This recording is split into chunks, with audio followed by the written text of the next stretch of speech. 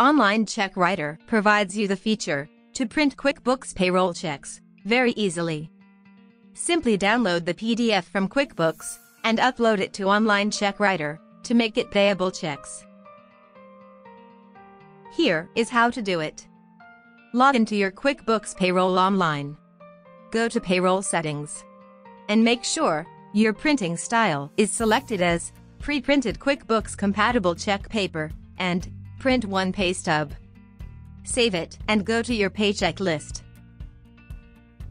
Select the checks you want to print and click on Print. Save the file to your device. Now go to your online check writer account. Open integration page. Select Create Checks from PDF. Choose your bank account. Select QuickBooks Online Payroll PDF.